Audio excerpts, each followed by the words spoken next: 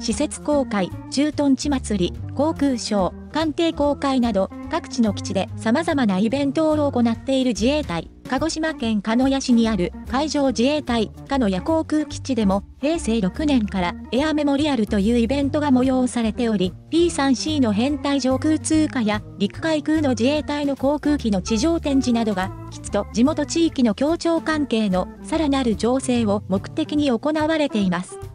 今回ご紹介する映像は、今年のエアメモリアルの様子を収めたもので、P3C と護衛艦アトラスが敵国の潜水艦の脅威から日本を守るという内容のデモンストレーションが行われています。